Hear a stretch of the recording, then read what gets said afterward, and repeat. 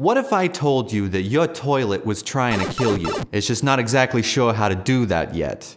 But if you keep flushing wet wipes down the chute, eventually one day it'll figure it out. You see, companies trying to sell you wet wipes claim they're safe for your sewer system, but they're not.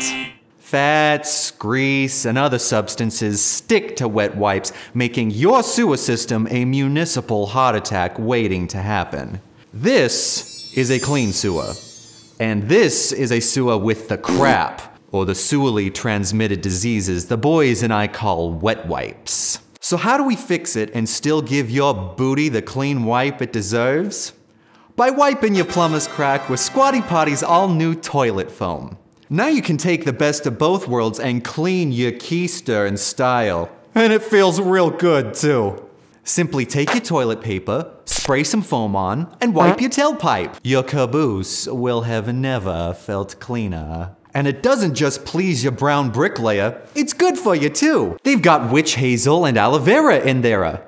And if you've ever given birth to a child or a big bowel bomb, you know how good witch hazel is for your behind.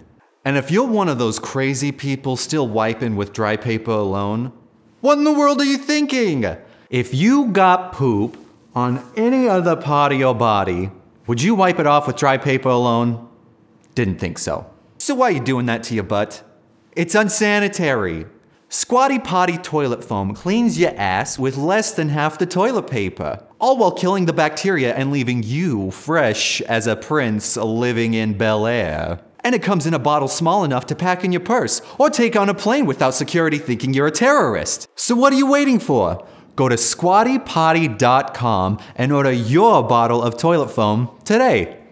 If you haven't felt our toilet foam on your behind, you haven't lived. Squatty Potty. Poop better, and cleaner, and safer. Because seriously, if toilets gain sentience and seek revenge for all the wet wipes you flushed, we're in trouble. I've seen lots of robot movies, and the humans usually die. So wipe your butt with Squatty Potty toilet foam. For humanity's sake.